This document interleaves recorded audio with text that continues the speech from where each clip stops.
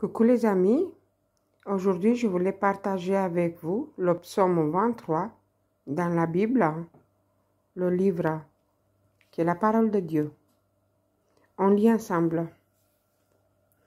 Psaume de David. L'Éternel est mon berger, je ne manquerai de rien. Il me fait prendre de repos dans les pâturages bien vertes. Il me dirige près d'un eau paisible il me redonne des forces. Il me conduit dans les sentiers de la justice à cause de son nom.